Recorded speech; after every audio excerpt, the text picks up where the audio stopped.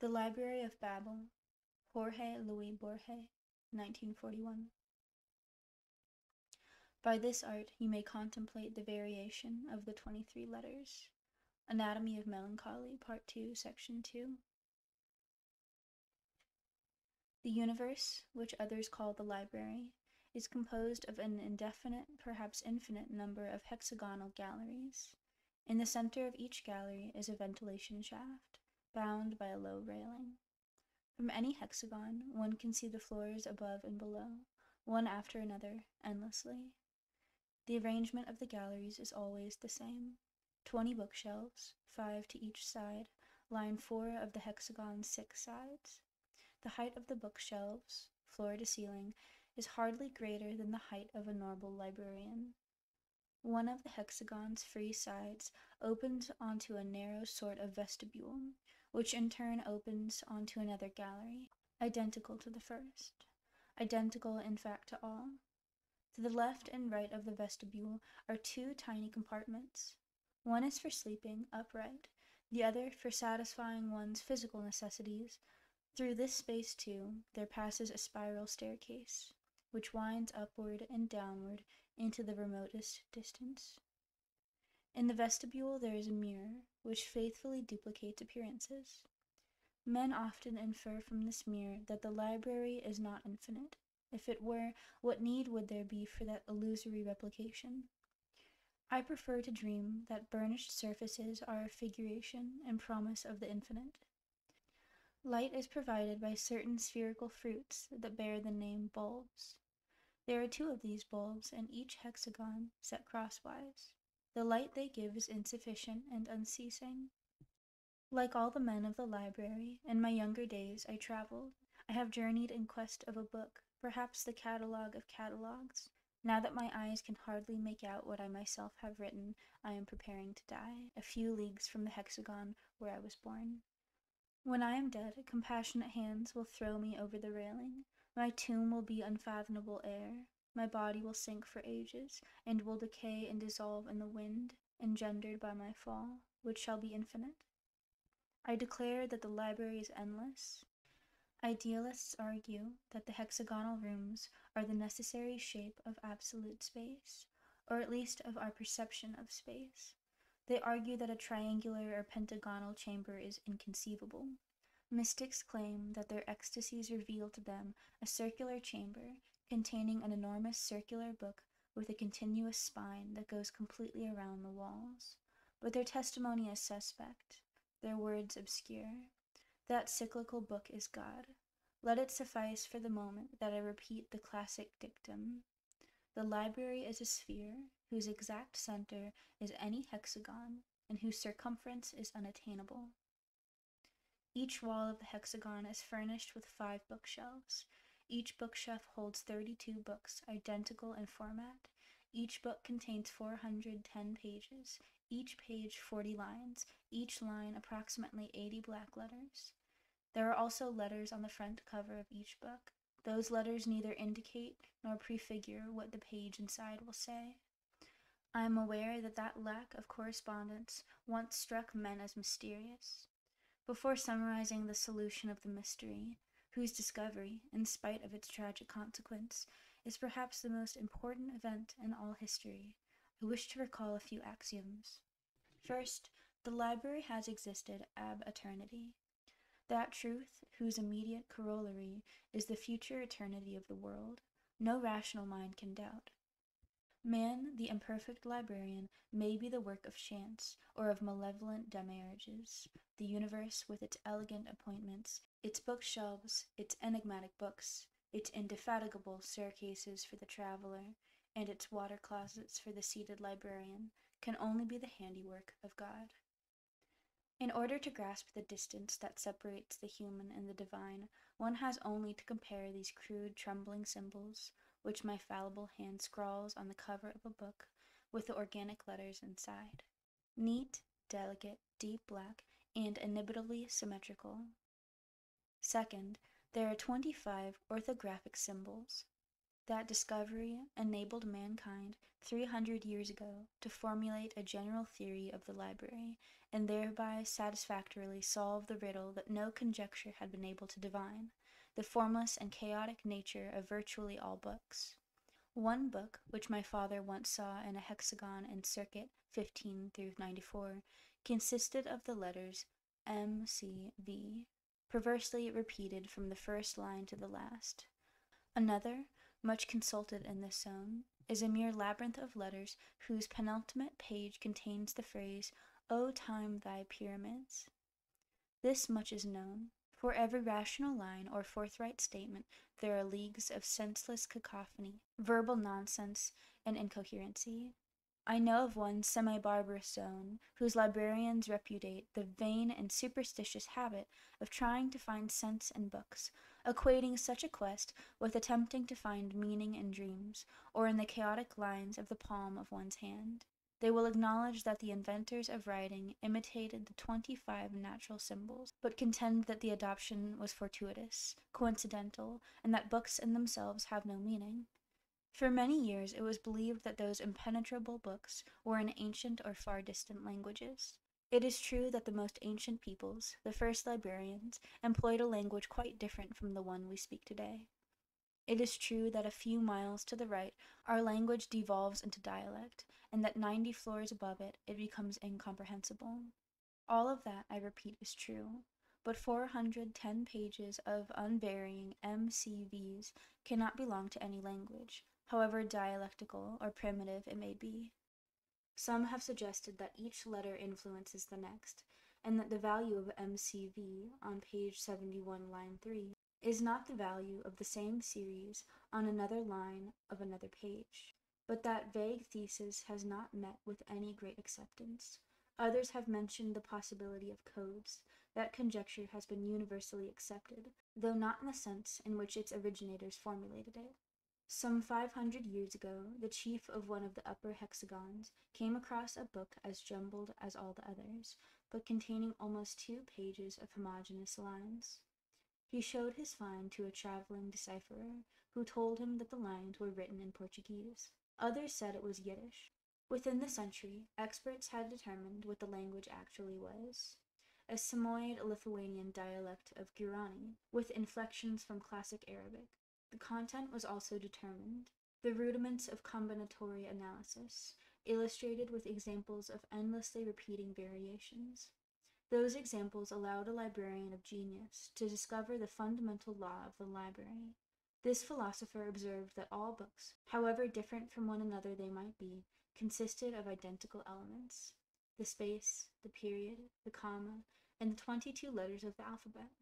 He also posited a fact which all travelers have since confirmed. In all the library, there are no two identical books. From those two incontrovertible premises, the librarian deduced that the library is total, perfect, complete, and whole, and that its bookshelves contain all possible combinations of the twenty two orthographic symbols, a number which, though unimaginably vast, is not infinite that is, all that is able to be expressed in every language.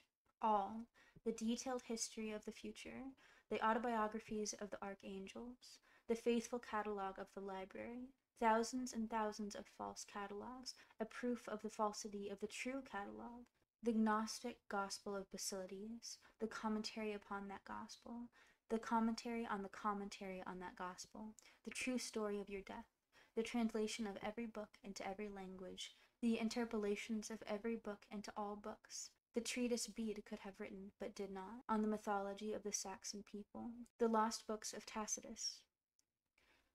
When it was announced that the library contained all books, the first reaction was unbounded joy.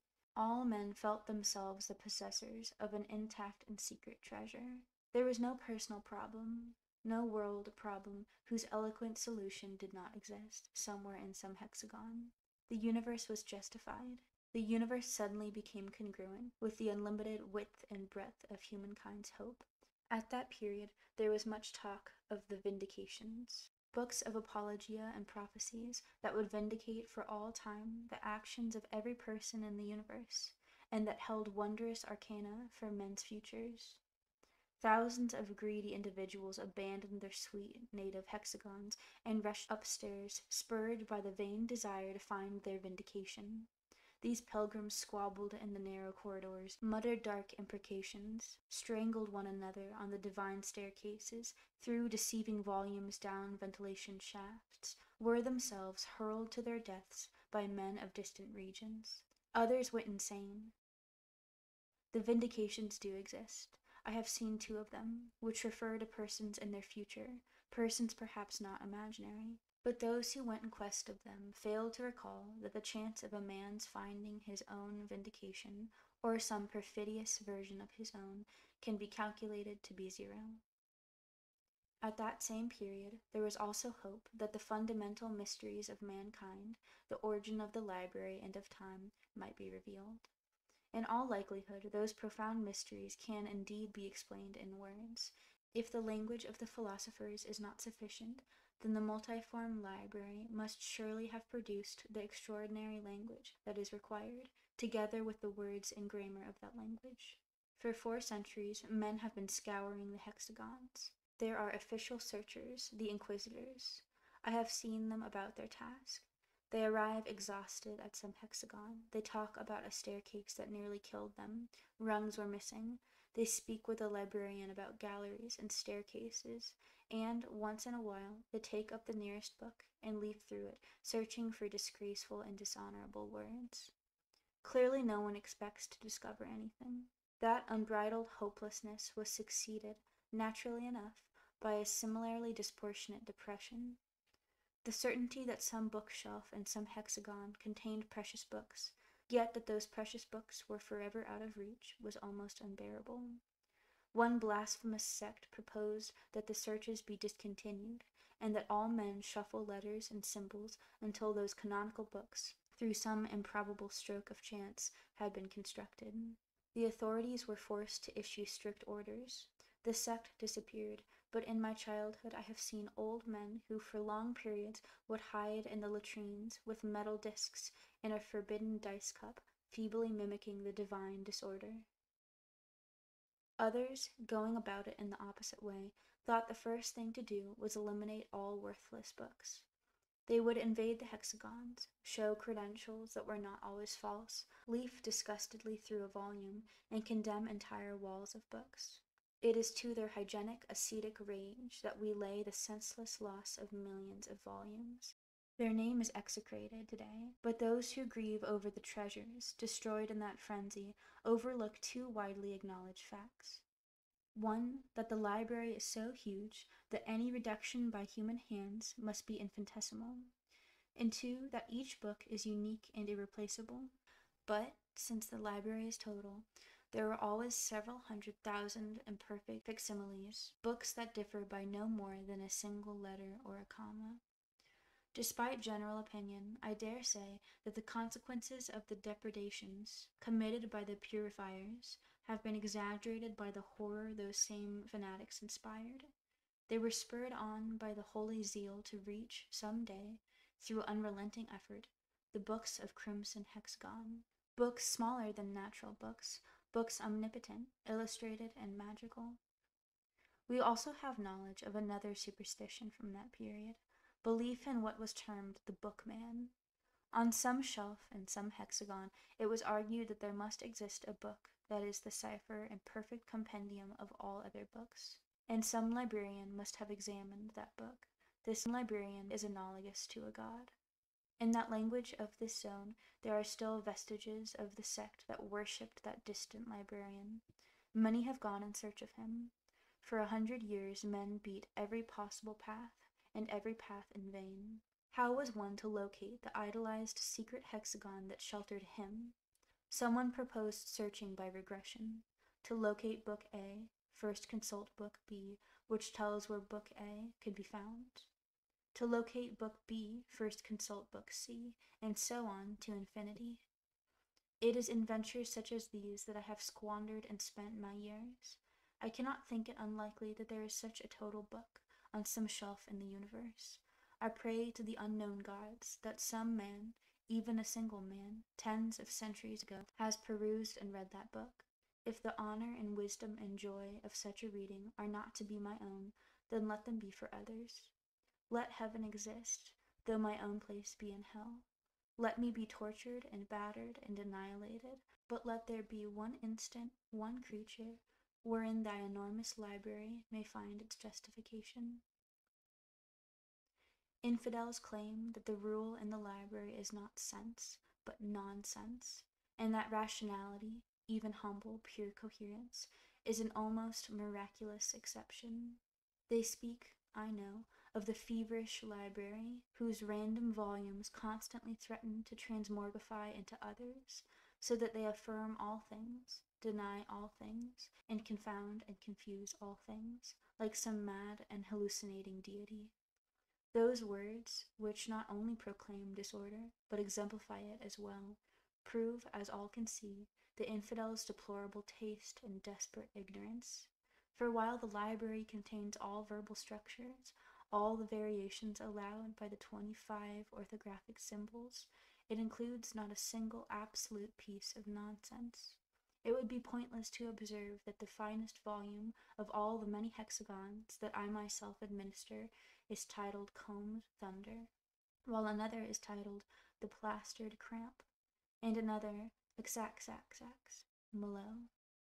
Those phrases, at first apparently incoherent, are undoubtedly susceptible to cryptographic or allegorical reading. That reading, that justification of the word's order in existence, is itself verbal and ex hypothesi, already contained somewhere in the library. There is no combination of characters one can make, dimeral chittij, for example, that the divine library has not foreseen, and that in one or more of its secret tongues does not hide a terrible significance. There is no syllable one can speak that is not filled with tenderness and terror, that is not in one of those languages the mighty name of God. To speak it is to commit tautologies. This pointless and verbose epistle already exists in one of thirty volumes of the five bookshelves, and one of the countless hexagons, as does its refutation. A number n of the possible languages employ the same vocabulary, and some of them the symbol library possesses the correct definition everlasting, ubiquitous system of hexagonal galleries. While a library, the thing, is a loaf of bread or a pyramid or something else, and the six words that define it themselves have other definitions. You who read me, are you certain you understand my language? Methodical composition distracts me from the present condition of humanity.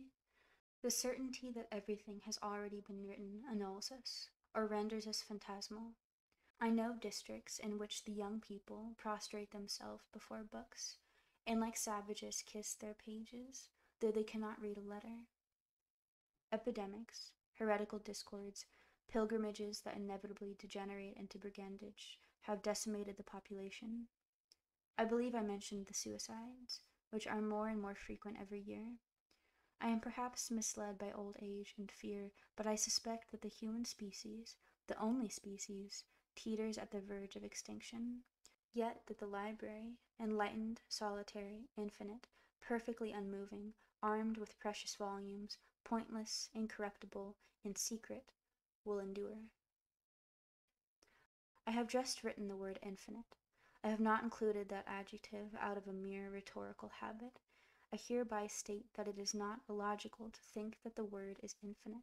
Those who believe it to have limits hypothesize that in some remote place or places the corridors and staircases and hexagons may, inconceivably, end, which is absurd.